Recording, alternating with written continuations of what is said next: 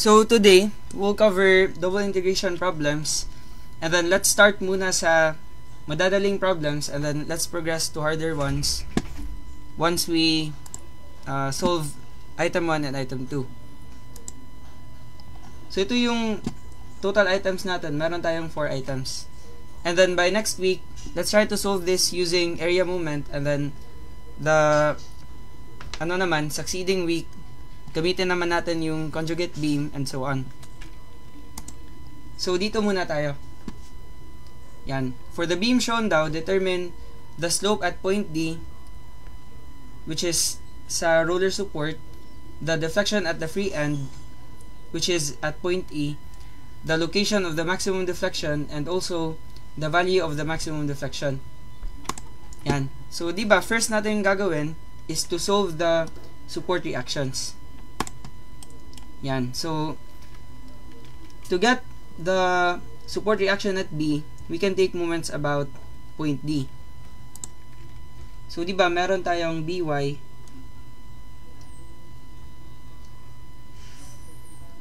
Yan. Meron din tayong dy. We also have bx, but it will just be 0 kasi wala kasing horizontal force na nag-act sa beam natin. Now, to to make this easier, let's just reduce the uniform load into an equivalent concentrated load. So, di ba, meron yan siyang resultant na mag-act sa gitna. Yan. So, this is 30 multiplied by a distance of 6 meters. So, 30 times 6 magiging 180 km. Yan. And then, it will act 3 meters from the left support.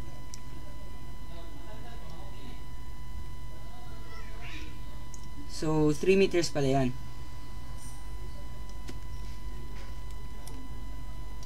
So now we can sum up moments about D. So we have BY. it will cause a clockwise rotation about D. So, positive. By the way, yung assumptions ko pala sa mga bago sa channel, clockwise ko always positive. So, BY multiplied by a distance of 6. Yan. And then, minus 180, itong resultant force na lang, multiply natin by 3 meters plus 2 meters. Kasi di ba if 3 yan, then this is also 3. Now, 3 plus 2, that becomes 5. And then minus kasi counterclockwise yung rotation niya na makukos about point D. And then we can eliminate dy. Wala yung moment makukos about point D then we have plus 75 multiplied by a distance of 3 meters. Yan. So, set natin to 0. We can solve by. So, 6x minus 180 times 5 plus 75 multiplied by 3 equate natin to 0. So, by pala is 112.5. and this is KN. Yan. And so, to solve dy, we can just sum up forces vertical kasi alam na natin yung value ng by. So, summing up forces vertical, we have by, which is, diba, 112.5.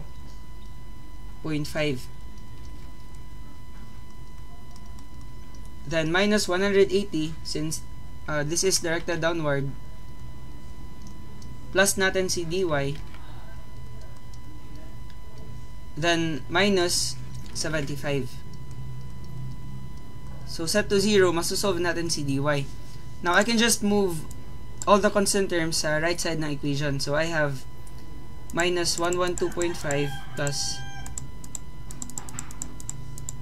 180 then plus 75 So, magiging 142.5.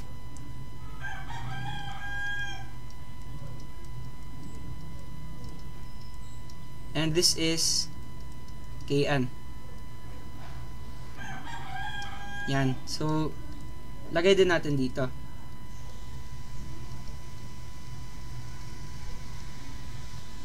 Now, pwede natin tong i-move so that meron tayong space para sa singular moment equation natin.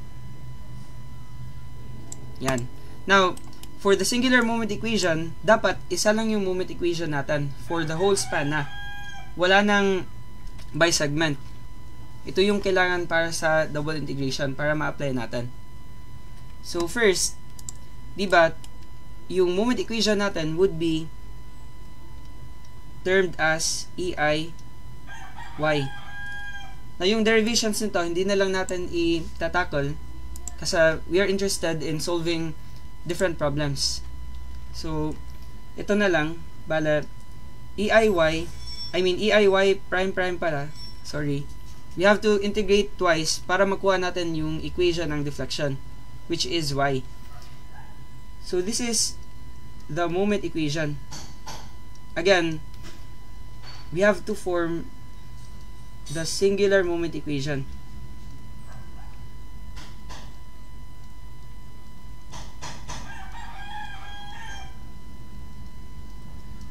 And then, by the way pala, sa mga bago lang, for undergrad students, you can download this app. Uh, open ko muna.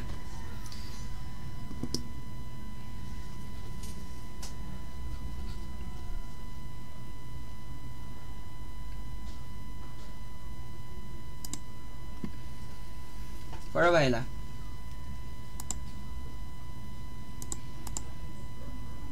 Papakita ko eh, uh, kung paano nyo pwedeng gamitin yung app.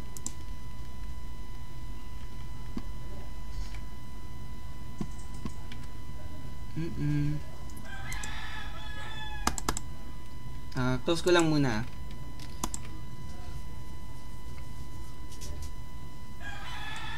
Paki-share nga pala kung meron kayong classmates na also taking structural theory, paki-share yung live natin. Para mas maraming matulungan. So, meron tayong dalawang applications. Itong SWFEA 2D frame, it's ideal for uh, problems wherein you have frame systems or truss systems but yung pinakamaganda for beams lang, itong deflection light. So, open natin. And then, let's try to model the beam right here. Ito. So, papakita ko rin paano yan siya i-model. And then, ano rin yung input values pala. So, ika-cover natin yan. So, ito yung interface ng app Uh, wait lang ah, medyo naglalag. Open natin ulit.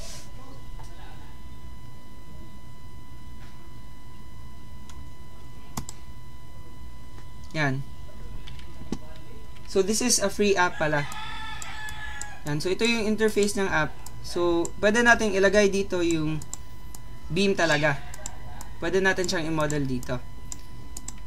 So, let's look at our beam we have a span of 4 plus 2, 6 plus 2, 8 plus 3, magiging 11. So, lagay natin 11. And then, meron tayong support at 2 meters from the left end. So, lagyan natin ng simple support. Yan, 2 meters. And then, uh, hinge pala yan. So, papalitan natin ng fixed hinge. And then, let's add another simple support at point D, which is 4 plus 2 plus 2. That's 8 meters from the left end. So, input lang natin 8. Yan. And then we have a distributed load applied from A up to C, which is from 0 up to 6. So, ito yung distributed load. Lagay mo lang and then drag it patungo sa 6 meters. Yan. So, yung value niya is 30 kN per meter. So, 30 saka ito rin. Yan. And then we also have another load of 75 kN applied at the free end. So, andyan yan sa dulo.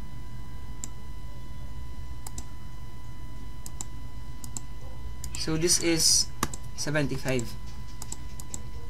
Uh, wait lang, more supports are needed to calculate a solution. Uh, simple na lang yung ilalagay ko. Kasi hindi naman kailangan siya maging hinge kasi wala namang horizontal force acting. So, ano na lang. Lagyan ko na lang ng simple support at 2 meters. Yan. So, di ba? Ito na yung reactions natin. 112.5 at point B. And then at dy naman, we have 142.5. So, ito yung magandang pang-checking sa statics or structural theory or any subjects na merong beam analysis. Yan. So, meron tayong shear diagram na. Meron na din tayong moment diagram. And then, itong dalawa, maybe new para sa inyo, especially yung mga galing lang sa mechanics, ito yung slope, ito naman yung deflection. Now, yung gusto ko, pag slope yung kailangan, 100 lang yan, input mo lang yan, 100, and then kapag slope yung hinahanap, gawin mo tong 10,000. And then yung value na makikita mo dito, yan yung in terms of EI na value. And then, if deflection naman, input ka lang ng 10 million. Para maging in terms of EI na yung value dito. So, papakita ko yan. Paano yan siya. So, ito lang muna yung ilalagay ko. So, check natin yung value at the left end. Yan. Uh, minimize muna natin. So, let's try to form the singular moment equation. So, by the way pala, yung singular moment equation must be up to the last segment. Diyan tayo magmo-moment. Bala, our cut pala is just right before the last point. Yan. And then, dito tayo magmo-moment. Now, to apply double integration, all loads must be continuous up to the cut. So, lagay natin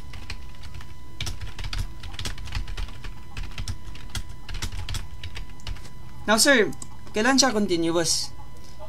Para continuous yung load, let's say, we have this beam, and then, meron kang uniform load, tas naputol siya at this point, but, andito yung cut mo, to make this continuous, you have to extend this load patungo sa cut. So, add ka ng load, but then, di ba, you can change the original loading of the beam. So, gagawin mo, add ka ng counteracting load sa ilalim. Which is directed upward kasi this is downward. Pag i-counteract mo yan ng equivalent force, magiging zero lang. So, parang in equilibrium pa rin yung system natin. But this is now continuous kasi itong distributed load na to is extending up to the cut and then itong inad natin is starting at this point and then nag-end siya sa cut. So, yan yung first consideration natin. Now, how about, sir, if meron tayong triangular load? So, let's try to draw a beam. Yan lang, lines lang muna. Let's say we have a triangular load na paganyan. Now, what if our cut is andyan sa last segment? Di ba hindi yan siya continuous kasi yung triangular load naputol siya sa uh, naputol siya dito. Now, dapat yung height ng triangular load must be at the last segment. So, gagawin pala natin is we have to extend the triangular load such that it will reach the last segment.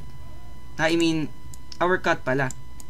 Yan. So, mag-add pala tayo ng parang trapezoidal load. Yung shape niyan, di ba? Trapezoidal. So, para i-counteract yan, we need to add another trapezoidal load dyan sa ilalim. Parang ganyan. So, this is to make the load continuous kasi lahat ng heights mo ng triangle andyan na sa cut natin. So, now we can divide this into a rectangular load and a triangular load. So, ito na yung gagamitin natin for the singular moment equation. So, yan lang muna. And then, by the way, sa moment arms pala, kapag meron kang minus, gagamitan natin ng pointed brackets. Yan. So, sir, kailan yan gagamitan? Uh, for example lang yan. Halimbawa, meron tayong beam. Then, we have a load right here. Diba, our moment equation is defined by a distance x from the left end. So, let's say, we have this distance x and then meron tayong cut dyan. So, what if we have a point load or concentrated load applied 3 meters from the left end? Yan. Diba, if I will take moments about the cut, then my moment arm is going to be the distance x minus 3. Yan. So, itong moment arm ko, since meron siyang minus, I have to use pointed brackets. Now, ibig sabihin yan, pag merong pointed brackets, hindi pwedeng maging negative yung nasa uh, yung nasa inside niya. O yung nasa loob pala. Uh, hirap magtagalog. So, yan. So, now na now that we have define these, let's try to form our singular moment equation. So, di ba, first natin gagawin, itong distributed load natin, it stopped at point C.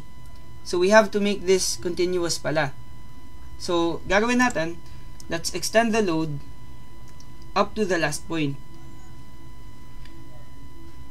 Yan. So, the magnitude of this load is still 30 kilonewton per meter. The same lang dito. But if triangles na, you have to apply ratio and proportion talaga. So, since nag-add tayo ng distributed load, ginawa natin continuous about this uh, this particular point, we have to add a counteracting load. Tawag dito, dagdag bawas method. So, nagdagdag tayo ng load but ibabawas natin by an equivalent load. So, meron din tayong 30 kN per amp pala dito up to the cut. So,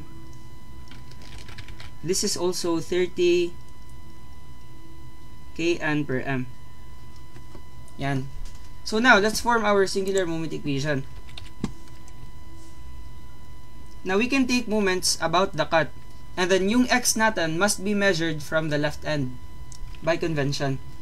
So, from here, extend natin yan. Uh, wait lang. Move ko na lang to.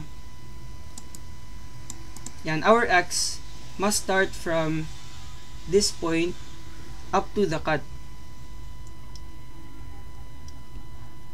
Yan. So, itong 75 kN pala na load since that's exactly at the last point, hindi na yan kasali. Kasi yung cut kasi natin dapat at the last segment but just right before the last point.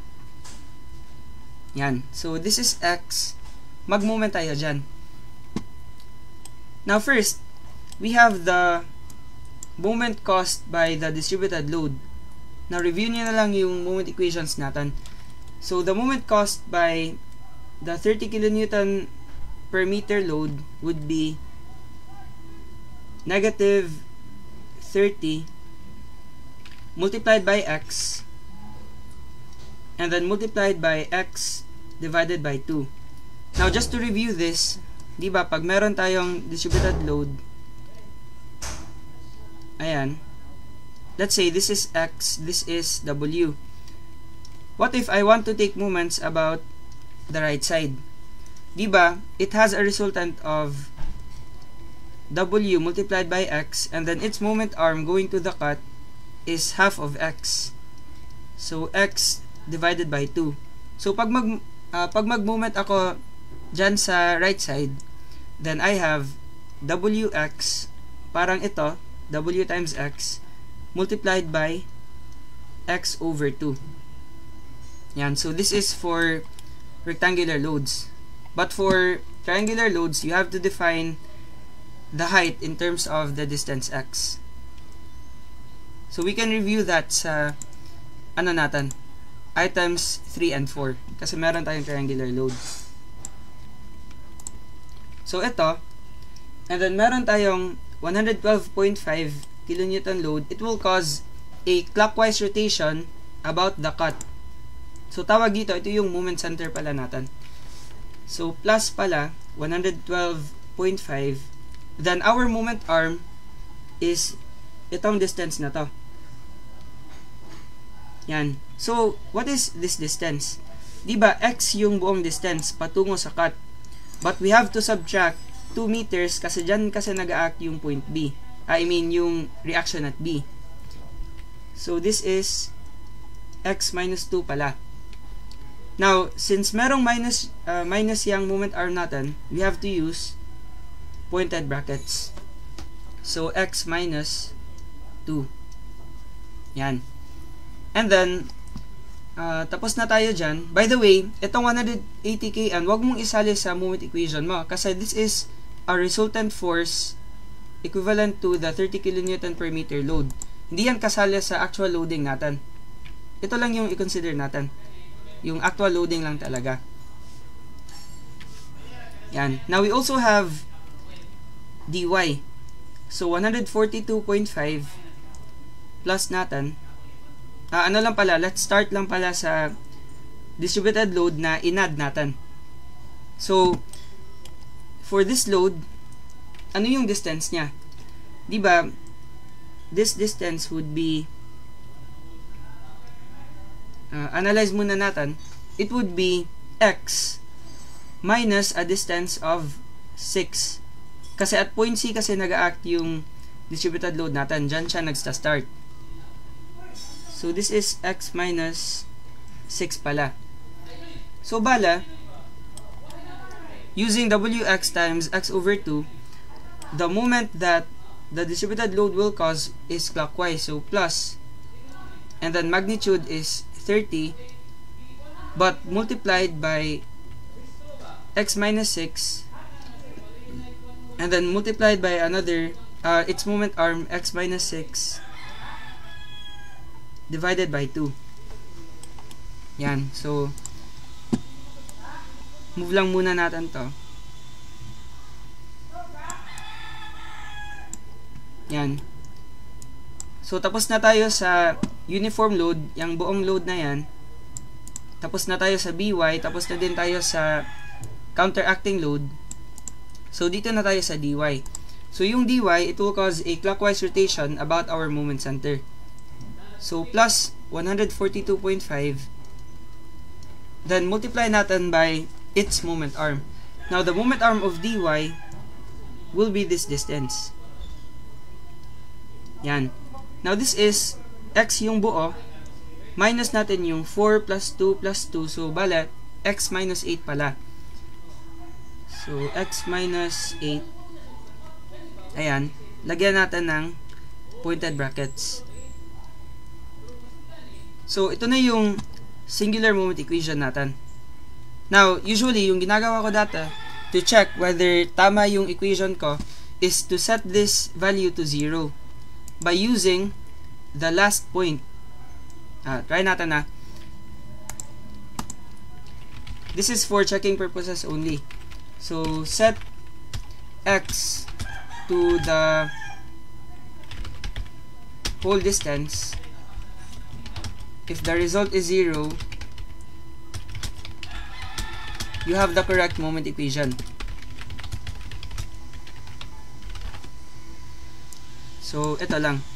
But this is given na walang applied moment or concentrated moment sa last point. Given that no concentrated moment at the last point. Hmm, saan ba? Ah, dito na lang. Yan. So, try down natin. The whole, uh, the whole span is 4 plus 2 plus 2 plus 3, di ba? 11. So, let's try to substitute 11 sa moment equation natin. Pag mag-0 yan siya, ibig sabihin, tama yung singular moment equation natin. So, input natin, negative 30 multiplied by x, then times x over 2, Ayan. Then, plus 112.5 times x minus 2 plus 30 times gawin na lang natin yan siyang x minus 6 squared divided by 2 kasi di ba occurring yan twice. So x minus 6 squared divided by 2 and then plus 142.5 multiplied by x minus 8 yan. So press calc. Ito then input natin 11 to substitute 11 sa lahat ng x variables so lagyan natin ng 11 di ba nag 0 siya so since nag 0 siya ibig sabihin tama yung singular moment equation natin So, ito yung initial checking talaga. Always ko tong ginagawa sa quizzes namin nung undergrad pa. So that, when I will form the slope equation and deflection equation, meron akong uh, counting kumpiyansa. Yan. So, once ma-zero na yan, this is fine na. So, we can integrate this. If hindi nag-zero, try to double check kung saan ka nagkamali. And then, uh, once nakita mo na yung mali, Diyan ka lang mag-integrate. So, after the moment equation, let's integrate once. y prime prime now becomes y prime. So, we have ei y prime. Ito na yung slope equation natin. So, we can integrate this function. But first, it's a good practice to simplify the equation. So, move lang natin yan bala, this will be negative 15 x squared over 2. But, depende na yan sa'yo. If you want to, uh, ano pala, 15x squared na lang pala. But, depende yan sa'yo if you want to simplify further talaga. Now, yung ginagawa ko dati is, gino-join ko lang lahat ng reoccurring terms or recurring terms pala.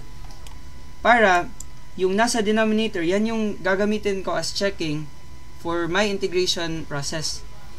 So, uh, again, depende lang yan sa preference mo. Pwede mo yan siyang gawing 15x squared, but ako, personally, ginagawa ko siyang 30x squared divided by 2. Yan lang. And then, retain lang natin to since wala namang repeating term. But ito, magiging plus 30 times x minus 6 squared divided by 2 and then plus 142.5 times x minus 8 retain lang yan. Yan.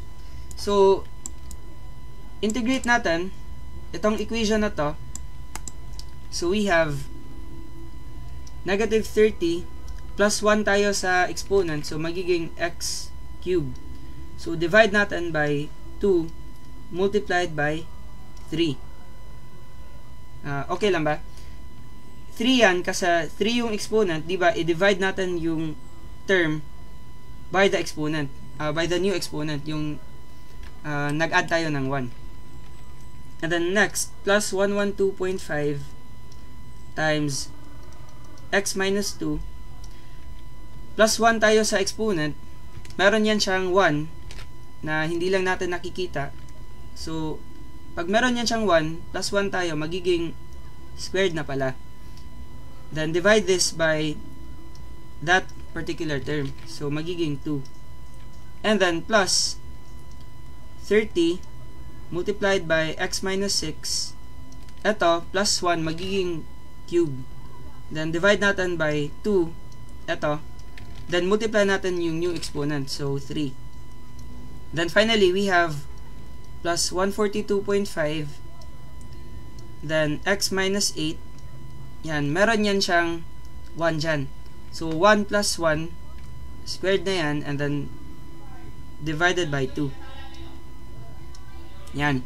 The next, since nag-integrate tayo, mangyayari, merong lalabas na arbitrary constant or yung tinatawag natin na constant of integration. So, to arrive at the slope equation pala, we have to integrate ei y prime prime. Yan yung slope equation. So, ito na yung slope equation natin. And then, for the deflection equation naman, we now have integrate this further, magiging EI y. Yan. So, ito na yung deflection natin na equation. So, this is obtained by integrating um, integrating twice the moment equation. Parang deflection equals ito.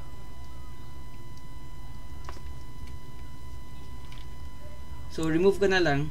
Uh, baka confusing. Yan. So, we have EIY. Now, to get EIY, or the deflection equation, we have to integrate once more. So, magiging, move natin to. Copy natin, negative 30x, then plus 1 sa exponent, magiging 4 na yan. So, 4, and then divided by 2 times 3, retain natin yan, multiplied by 4, kasi nag-divide kasi tayo ng 4 dyan. Due to the new, uh, due to the new exponent. Then, plus 112.5 x minus 2 then ito magiging cube na siya kasi plus 1 then divided by 2 multiplied by 3 The next, plus 30 times x minus 6. Ayan. Ito, magiging 4 na kasi plus 1. Then, divided by 2 times 3 times 4. Now, ginagawa kong checking is if nag-increase siya by 1 successively, tama na yung pag-integrate ko. So, kaya hindi ko siya sinisimplify. The next, plus 142.5 times x minus 8 plus 1 sa exponent 3 na siya then divided by 2 multiplied by 3 now ito, this is a constant term so madudugtungan na yan ng x bakit? meron kasi yan siyang parang x to the 0 diba? so x to the 0 pwede, pwede yan siya na i-treat mo as power rule, kaya meron na siyang x. Then, since nag-integrate tayo twice, merong new arbitrary constant. So, plus C2. Now, let's understand ano yung C2 and then ano din yung C1. Itong C2 is defined by the boundary conditions. Ito yung deflection at the left end. So, lagay natin na. deflection at the left end.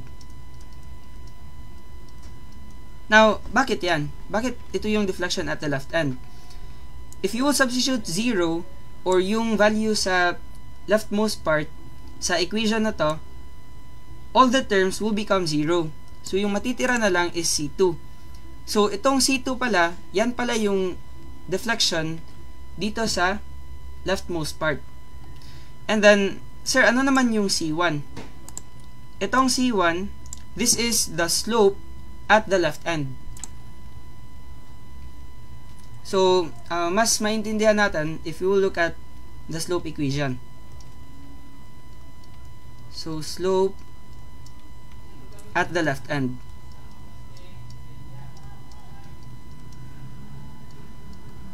Yan. So, yung slope at the left end, yan na lang kasi yung matitira pag you substitute 0 sa equations mo for the value of x. Kasi itong nasa loob kasi ng pointed brackets, it cannot be a negative number. So, pag meron kang 0, you have to eliminate all of that. So, yan din yung isang consideration natin. So, sir, kailan, kailan magkaka-value yung C1 sa C2? C1 will have a value if hindi fixed support yung nasa left end. Kasi walang slope lang sa left end if you have a fixed support. So, lagay ko na lang C1 will not have a value if the left end is a fixed support. Yan. Since the slope at the fixed support is 0. Yan. Now, sir, kailan walang value yung C2? Yung C2 naman, wala siyang value if the left end has a support. Any support, it can be a fixed support, it can be a simple support. Kasi pag meron kasing support, walang deflection na mangyayari dyan. Unless merong settlement. But that will be for another discussion na. So, ito lang yung considerations talaga. So, magkaka-value lang yung C1 I mean, walang value yung C1 pag fixed support yung left end and then walang value yung C2 pag merong support sa pinaka-left na side.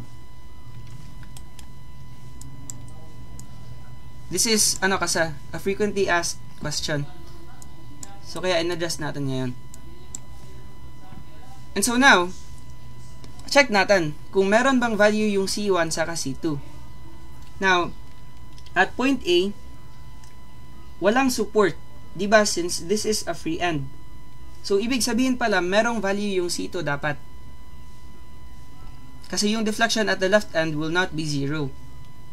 And then check din natin natin yung leftmost end. Yung leftmost end hindi naman to cantilever so hindi yan fixed support yung left end. Ibig sabihin meron din palang value yung C1. So yan yung isosolve natin. Now, sir, paano isolve yung C1 saka C2? 'di ba, dalawang unknowns. Now, kahit dalawang unknowns 'yan, meron naman tayong dalawang boundary conditions. Now, the boundary conditions will occur at the supports. So, at point B, meron tayong hinge. Ibig sabihin, walang deflection na mangyayari dyan. Kasi merong support. And then at point D din, walang deflection na mangyayari dyan kasi merong support. So, ibig sabihin, y equals 0 pala. So, itong uh, points na merong supports, yan pala yung magde-define ng boundary conditions natin. So, lagay ko yung sa point B, at B, the deflection is 0. Now, this is at x equals what? Diba? 2 meters from the left. So, at x equals 2 pala, the deflection must be 0. Yan. And then, at point D naman, at point D, this is at 4 plus 2 plus 2 at x equals 8. Yan. So, at x equals 8, walang deflection na mangyayari. Ibig sabihin, y is equal to 0. So, itong dalawa, ito na yung boundary conditions natin.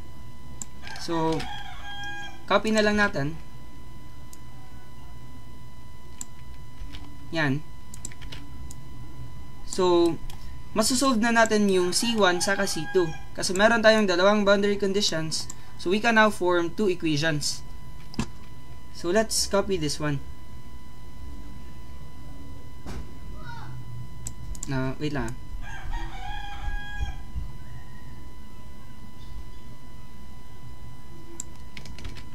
Yan. Copy natin. Uh, bakit yung deflection equation lang yung kinopy natin? Yung boundary conditions kasi natin are related to deflection. So, ito, y equals 0, saka ito rin. So, deflection yan sila, pero pag meron kang fixed support and then you have a boundary condition involving the slope, then you have to take out the slope equation. Now, meron tayong discussions dyan sa YouTube channel natin. So, ito lang muna. Now, for the first equation, we can apply this boundary condition. Yan. So, how can we apply that? Again, copy natin to. And then, let's first apply this boundary condition. Yan. So, at x equals 2 daw, y is equal to 0. So, we have to set this to 0 pala. Yan. And then, we have to substitute all values of x by 2.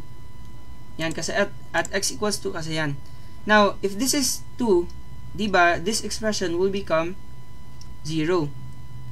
And then, we have to eliminate these terms uh, kasi if this is 2, then the inside term will be negative. 2 minus 6 is negative 4. Now, pag meron kang pointed brackets, the value inside cannot be negative. So, this will also be excluded. So, ibig sabihin, magiging 0 din pala yan. And then, ito naman, 142.5 times x minus 8. Pag 2 yung value ng x, magiging negative yung inside value. So, this will also be excluded. So, we have, our equation pala would be, yung value, uh, yung value nito, kasi di ba gagawin natin yan siyang 2. So, meron siyang constant term na mabubuo.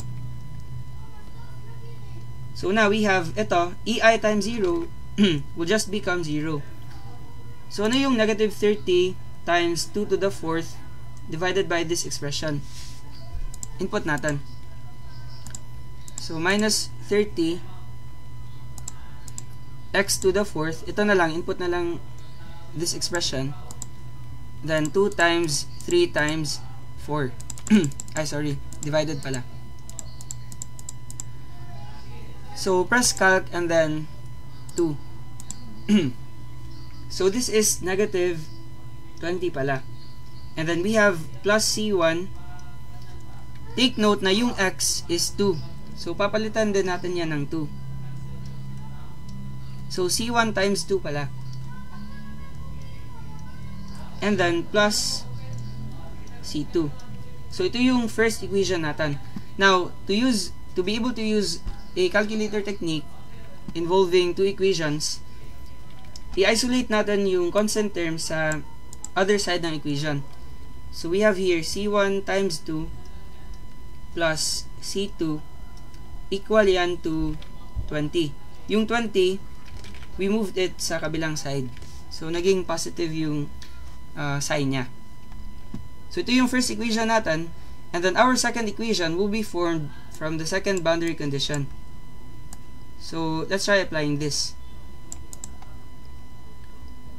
Copy natin to. Yan. So, gagawin na natin is we have to substitute all values of x by 8. Yan. So, ito pala, magiging 8. Ito rin, also this one, and this one. But 8 minus 8, uh, para ma-streamline mo yung process, always check kung ano yung magiging 0 or kung ano yung magiging negative. So ito, 8 minus 8, magiging 0 yan. So this expression will just be 0. So wag mo na yung isala.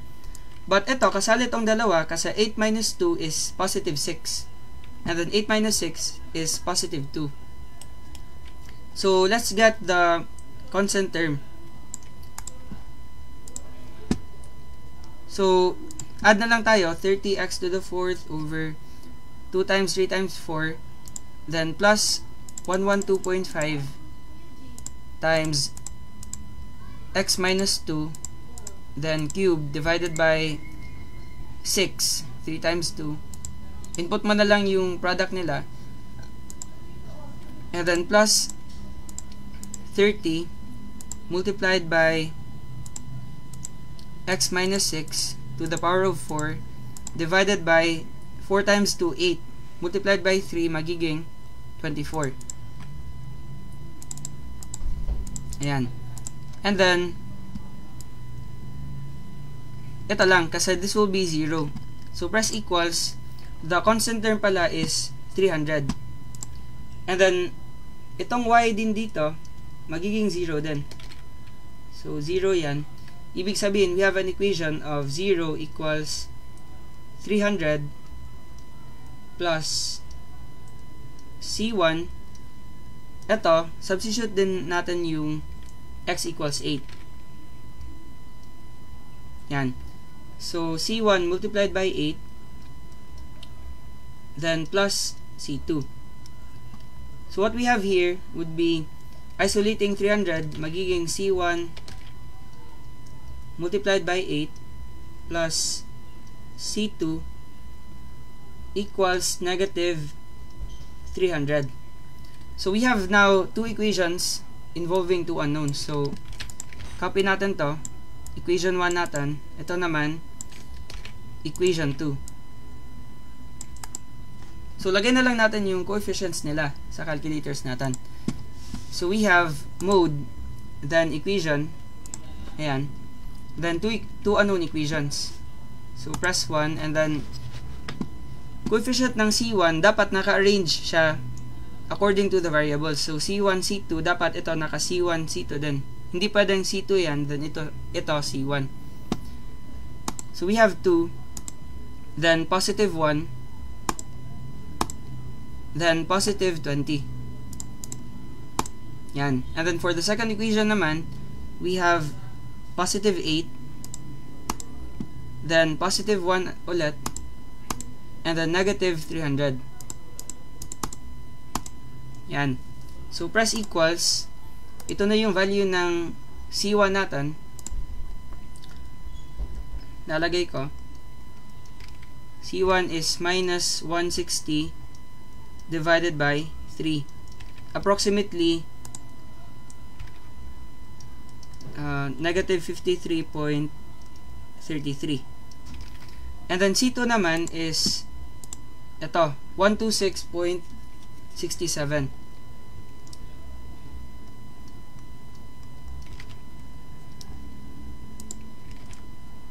So 380 divided by 3. Hmm. So 126.67. Yan. Ah, wait lang ah. Ida-double check ko lang. Sana yan? Hmm. Hmm, iba yung iba yung C1 ko dito. For a while ah. C1 kong na-solve is 8 yon ito naman 2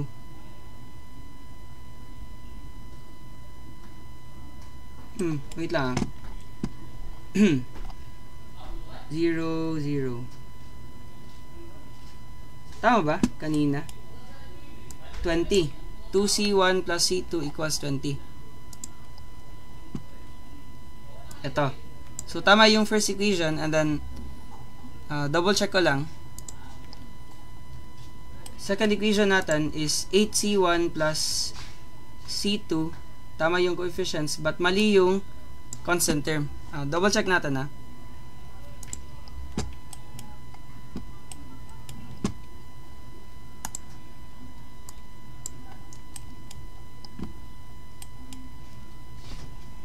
Two, three, four, one, two, three, two, three, four, one, two, three. Input ko ulit negative 30x to the fourth divided by 24 plus 112.5 times x minus 2 cube natin then over 6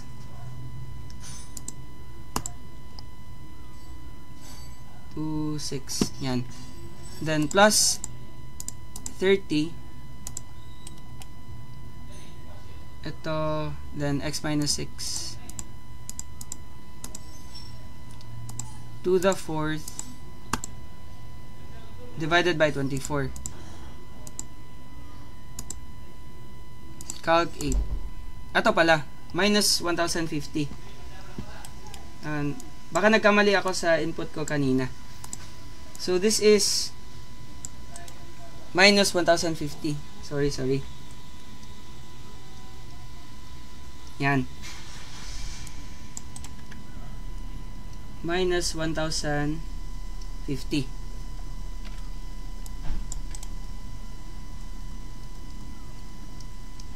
So, change lang natin yung values natin ulit.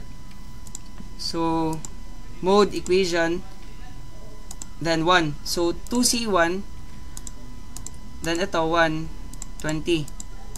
The next, we have, ito pala, magiging positive na yan, yung 1,050. So, C1 times 8, plus C2, 1 yan, then 1,050.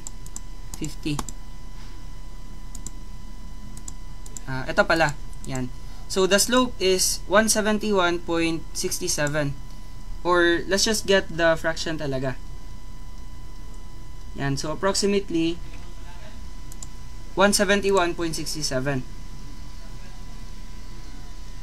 And then C2 naman is minus 970 over 3. So approximately 323.33.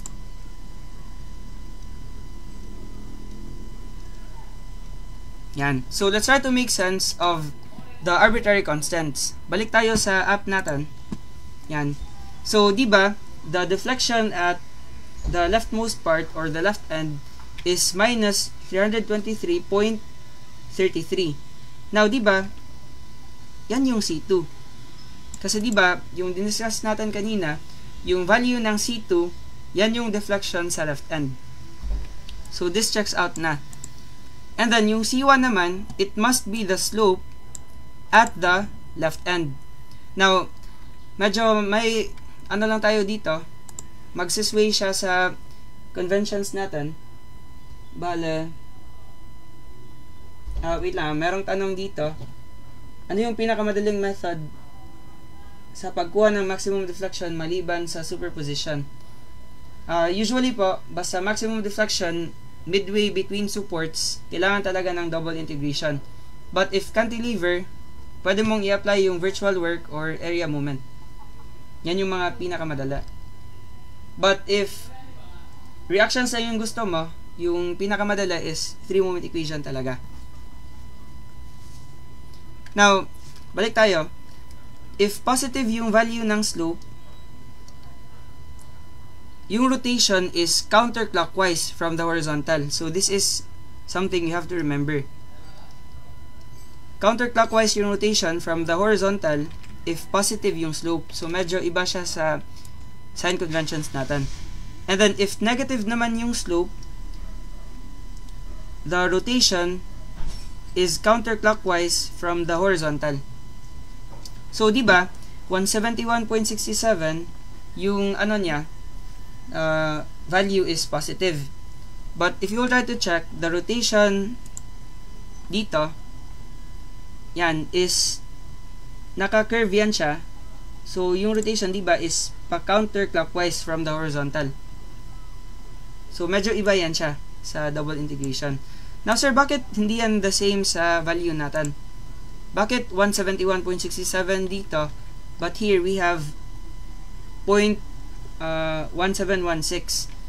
It's because kapag slope yung gusto mo in terms of EI, dapat 10,000 yung value dito sa cross-section mo.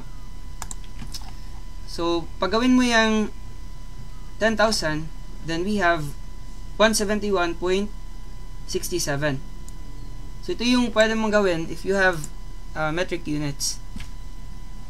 Yan, 171.67, yan, yan din yung value ng C1 natin. So, tama, tama na yung C1 sa C2 natin. But, hindi pa natin nasasagutan yung nasa questions. Kasi yung questions natin, first is to determine the slope at point D. so, paano yan? Paano yung slope at point D? If slope yung gusto mo, then you have to consult the slope equation. So, yung slope equation natin is this one. Ito. Slope equation natin. So, copy ko yan. And then, check natin kung saan yung point D. So, di ba, point D is at x equals 8. Yan. Uh, point D is at x equals 8. So, ibig sabihin pala, we have to substitute 8 pala sa lahat ng values ng x. So, slope at D at x equals 8. So, copy lang natin to. And then, meron na tayong value for C1. So, yung C1 natin is 515 divided by 3. So, plus natin yan. And then, we have EI y prime. So, solving y prime, input lang natin yung equations natin. So, go to comp ulit. Then, minus 30 x cubed divided by 6. Then, plus 112.5 x minus 2 square divided by 2 and then plus 30 times x minus 6 cube natin. Then divided by 6 plus 1 uh, ah ito hindi na lang natin isasala kasi 8 minus 8 will just become 0 diba? So we can exclude this. Para hindi na natin yan siya i-type. So add na lang natin si 515 divided by 3 yan.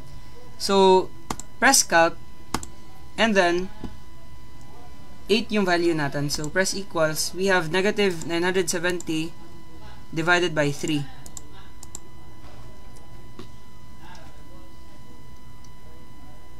Which is negative, ano yan?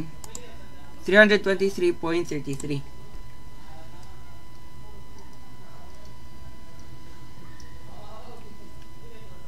Now, sir, ano yung unit? Let's try to understand the units pala di ba, unit ng moment is kilonewton meter. and then, if we integrate with respect to the distance, then yung m, magiging m squared na yan siya. So, yung slope pala is kn m squared, and then the deflection is naka kn m cubed. Kasi yung in-integrate kasi natin is with respect to x. Yan.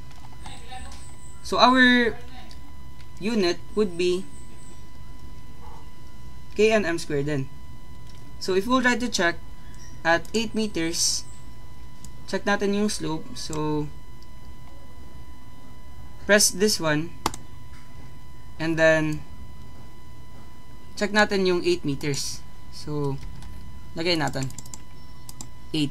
So at 8 meters, yung slope is negative 323.8 33. So, tama lang yung sagot natin. And then we have EI y prime. So, to isolate y prime, we can divide the two sides by EI. So, our final answer is negative 323.33 divided by EI. Now, since negative yung sagot, again, our convention would be negative is a clockwise rotation from the horizontal. So, this is clockwise. Yan. So, if we try to check the deflected shape, uh, balik tayo dito. At point D, ito yan siya. So, di ba the rotation is, pag mag-draw tayo ng line from the horizontal, copy ko lang yan, yan, di ba? Yung point D is at this point. So, pag mag-draw ako ng line, yan, the rotation is, di ba, pa-clockwise. And then, yung rotation naman dito, yung kanina, sa slope at the left end, ito yan siya. So, counterclockwise. Kasi positive yung C1. Yan. And then, sa second question naman natin, uh, by the way, lagay na lang natin yung sagot. So, negative 323.33.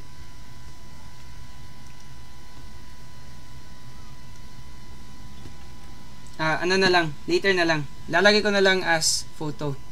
Uh, ipopost ko as photo pala. So, the next question is, ano yung deflection at the free end? So, yung free end natin is at point E. Yung pinaka nasa right. Yan. But, dalawang free end kasi, so, I will have to indicate talaga kung saang free end. Kasi, if the question is the deflection at the free end at A, meron na tayong sagot.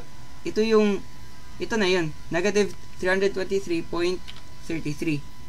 So, lalagay ko na lang, ito yung deflection at A. Ito naman yung slope at A. Yan. So, ito lang yung E. Sa letter B, indicate ko pala na at E. Mm, ano na lang, point E. So, check natin. Yung point E is nasa pinaka right side, so the value of X is 11. So, E is at X equals 11. So, ito yung isa-substitute natin sa deflection equation natin. So, di ba, this is our deflection equation. Yan. And then, we already have values for C1 saka C2. So, C1 natin is 515 divided by 3. And then, our C2 is negative 970 divided by 3.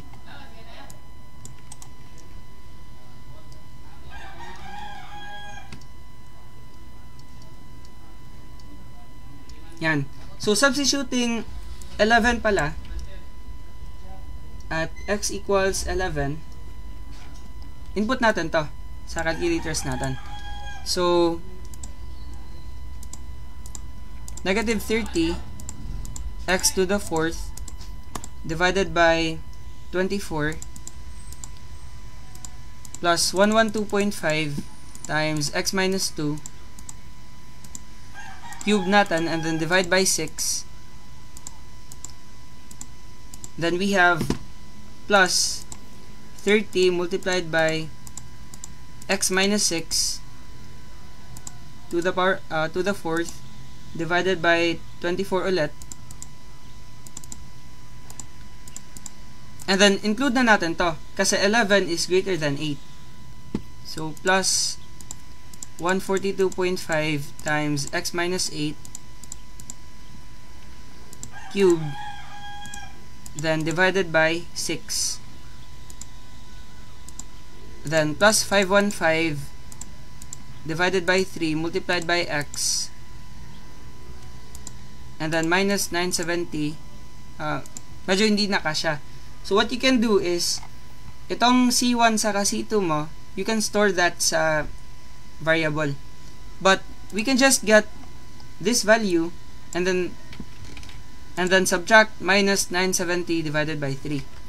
So, ito na lang, press calc, and then lagay natin 11. So, this is the value of this expression. Now, we have to subtract 970 over 3. So, answer minus this one, the deflection at the free end pala will be minus 1645.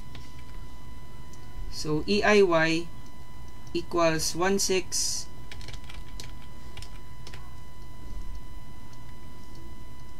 4, 5. Then, unit natin, since this is deflection, magiging kn m cubed. Yan. So, medyo mahaba na yung solution natin. But huwag kalimutan, mag-A ka muna. ba? Diba? So, y pala natin is divide natin yung dalawang sides by EI. So, copy na lang natin to. And then, divided by EI. Yan. Now, itong EI, kung meron kang value sa modulus of elasticity sa moment of inertia, then the value of y will have a constant term talaga. Parang empirical value. Ah, not empirical, numerical pala. Sorry. Yan.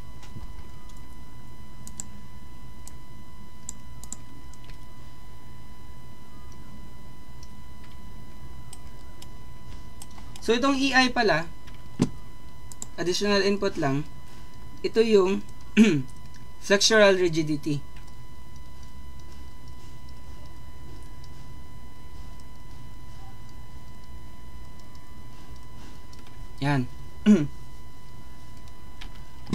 So, check natin. Sa app natin, deflection at the free end is this one. Yan. So, 1645. Now, naging 1 million yan kasi this must be 10 million kasi. If you are interested in the maximum deflection. So, ito talaga. Minus 1645.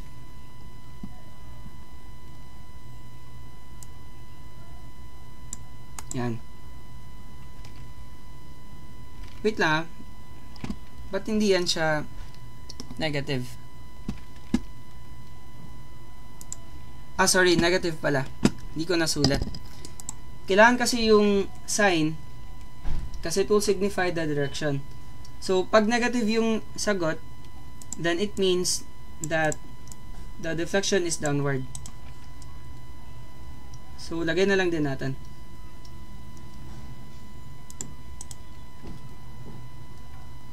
Yan. So, next. Ito na yung medyo bago sa questions natin. Ano daw yung location ng maximum deflection? So, meron tayong maximum deflection at A, saka at E, but meron ding maximum deflection, another maximum deflection, midway between the simple supports. If we'll consider BD. Kasi if we'll check dito, sa elastic curve natin, yan. Meron siyang deflection dito. Diba? And then, meron din siyang deflection dito. But meron siyang maximum deflection din midway between the supports. So, I have to indicate that pala. Kasi mukhang mas malaki yung deflection na to kesa dito. So, lagay ko na lang the location of the maximum deflection midway between B and D. And then, yung letter D naman natin is the value of the maximum deflection considering letter C na lang. Considering the previous question. Yan. Uh, baguhin na lang natin.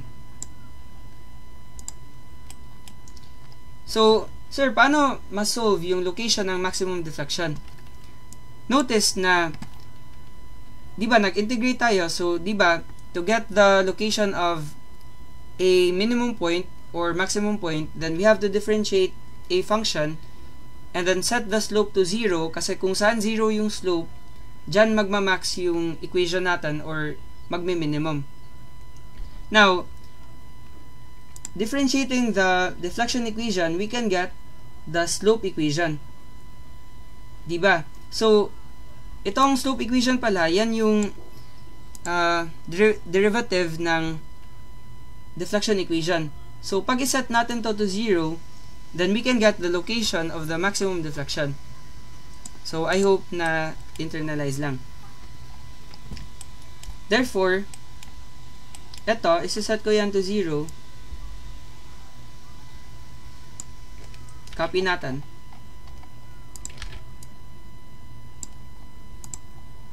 C1 pala is 515 divided by 3.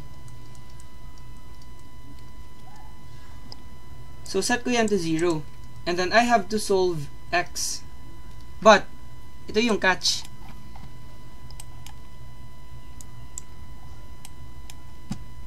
You have to check uh, kung ano yung forces na that will be excluded. Kasi, midway between B and D, hindi na kasi kasali yung 75 kN load. Diba? Saka, yung dy din, hindi na yan kasali kasi andyan tayo sa B to D. So, directly at D, hindi yan, uh, wala dyan yung maximum deflection natin. So, what we have to what do we have to eliminate?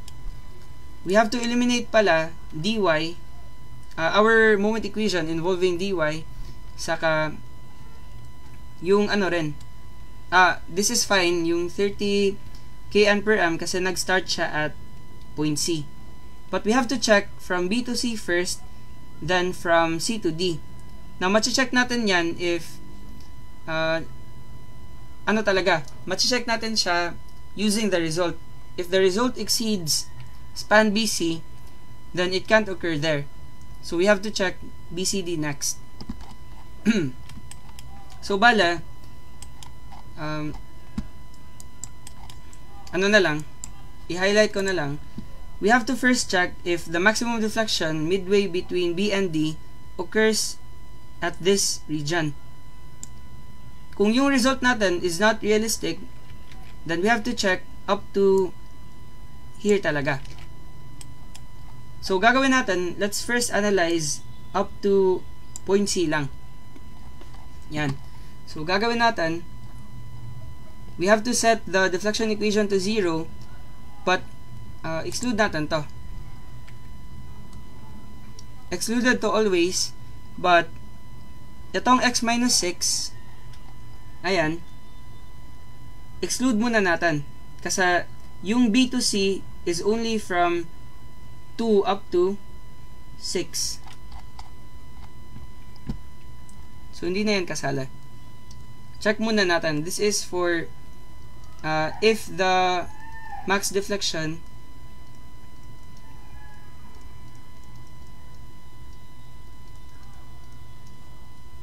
occurs between ano nga yan? B and C.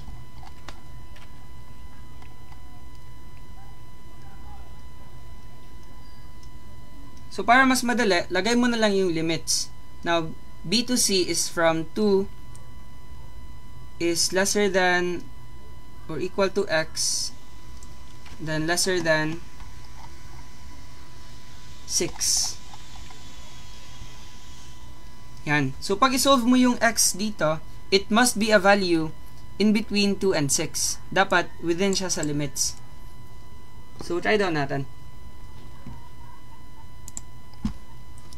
0 equals negative 30x uh, x squared yan dapat wait lang uh, cube pala hindi ko na-copy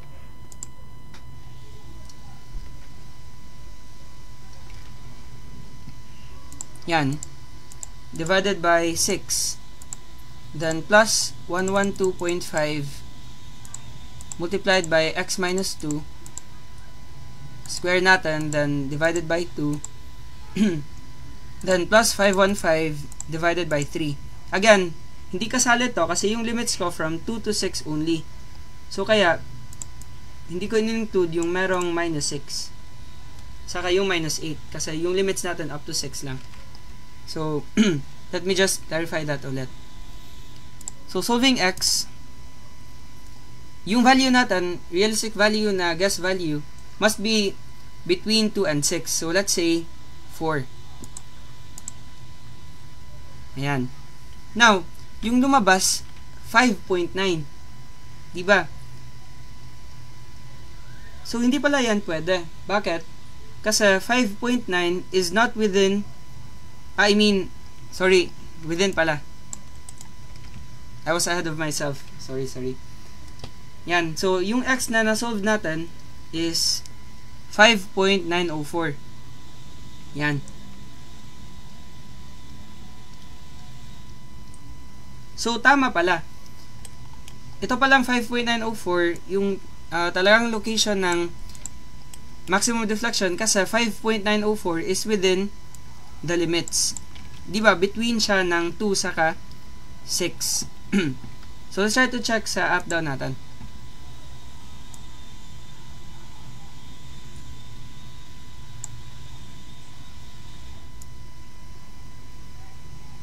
we have this maximum deflection midway between the simple supports. So, saan ba yan? Uh, dito na lang. Check natin yung location niya. Di ba? We have 5.9 meters. So, ito, ito yung tamang sagot talaga. 5.9. Yan. So, this is the location of the maximum deflection. And so, we can now solve the value of the maximum deflection. But, uh, para ma-internalize nyo talaga, let's try to check if yung assumption natin is the maximum deflection is not between B and C. What if we assumed na the maximum deflection occurs somewhere between B and D talaga? So, ito yung gagawin natin. Let's copy the same equation. Yan. And then, let's try to assume na the maximum deflection occurs between, instead of B and C, magiging between B and D. And then, lalagay ko sa limit ko, it will now be up to 8 meters kasi yan yung location ng D.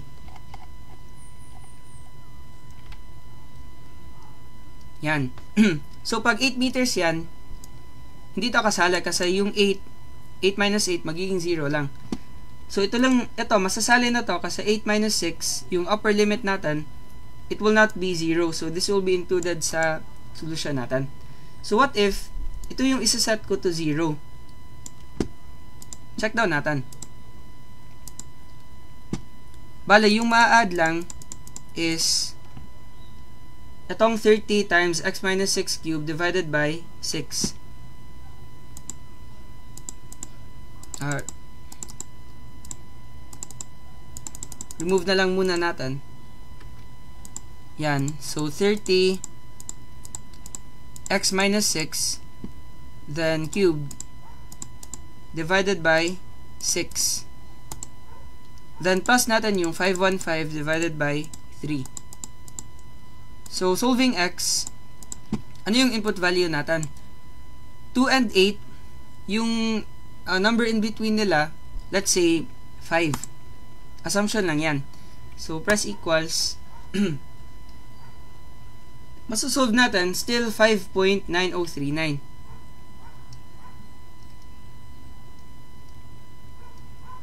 Yan. Ah, sorry, ano pala. Between, dapat definite na point, so between C and D. So, yung C natin is at 6 meters. Yan. Kanina pala, B to C yung uh, assumption natin. So, ngayon, C to D. So, 6 up to 8 lang pala. Sorry, sorry. Hmm. Erase natin to. This is 6. Yan. But you will notice na 5.9039 is not within the limit uh, the limits natin na 6 to 8. So, hindi yan pwede. Ibig sabihin, the maximum deflection cannot occur between C and D. So, machi-check mo lang talaga yan siya sa result mo. So, maximum deflection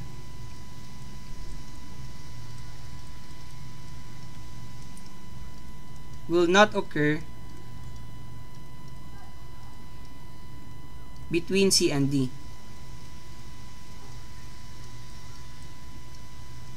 Yan. So, kaya, ito yung tamang sagot talaga. So, if you are to check kung ano yung deflection dyan, let's just substitute 5.904 sa initial equation natin. So, ito, ikakopy natin. Uh, by the way, ito na lang, kasi 5.904 is lesser than 6. So, papalitan natin yan. 5.904. Ito rin. And then, yung kanina na lang na value, yung iso-store natin. Uh, balikan natin ha. Ah. Hindi kasi natin na-store. Ito, 5.904. Shift store, lagay natin sa A.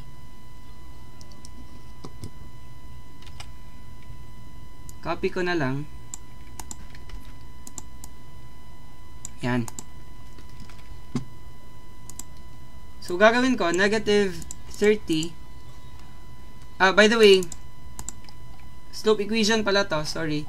Yung isa-substitute natin sa ano na, sa deflection equation na. So, copy natin to. Ah, or this one na lang.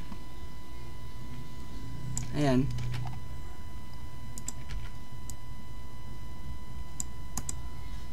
And then, uh, by the way pala, kung nagkamali ka sa ano mo, yung inassume mo na location ng maximum deflection, mag-iiba talaga yung value. ba dito 5.904, ito 5.9039. Now hindi yan sila the same.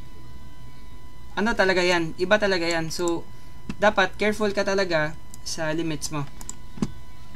Nagkataon lang na 5.9039 is uh, malapit lang sa 5.904. But mali talaga to.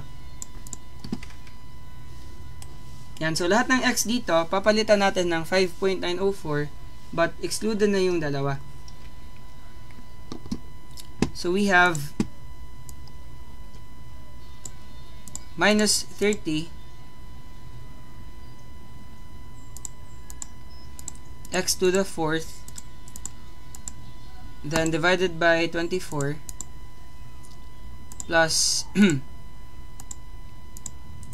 112.5 times x minus 2 cube natin. Then divided by 6 plus 515 ito divided by 3 multiplied by x then minus 970 divided by 3 so press calc, and then input natin yung nasa A. So, 287 pala, 0.0617.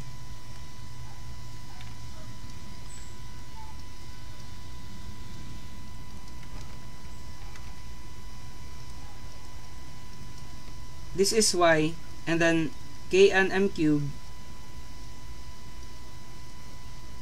divided by ei. So, ito na yung sagot natin. Which is, check natin sa app, tama talaga, 287.061. Yan. Medyo meron lang discrepancy kasi Uh, naka-finite element analysis to.